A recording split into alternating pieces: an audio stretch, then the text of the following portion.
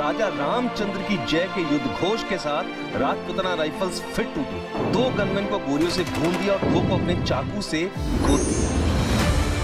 कारगिल के महान योद्धा महावीर चक्र प्राप्त कैप्टन निके जॉ को कैंगरू से के बारे में जानना चाहते हैं तो देखना न भूले कार्यक्रम कारगिल की शौर्य गाथा एक साथ ही और भी था इस रविवार 25 अगस्त सुबह 10 बजे और सोमवार 26 अगस्त रात साढ़े नौ बजे डीडी नेशनल पर इंडिया का अपना चैनल